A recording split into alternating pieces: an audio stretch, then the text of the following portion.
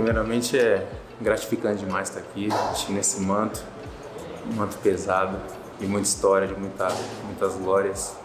Então estou muito feliz, as expectativas são as melhores possíveis para dar sequência nessa história gigantesca do clube. A torcida inteira, todo mundo pode esperar muita, muita dedicação com esse manto. Eu vou honrar essa camisa até o fim. Bom, é o 12 segundo jogador para gente, porque foi falado no país inteiro. Faz uma festa à parte fora do estádio, dentro do estádio também apoiando até o fim. Então, para mim é uma honra estar vestindo o manto e tenho certeza que a gente vai dar muitas alegrias para o torcedor esse ano.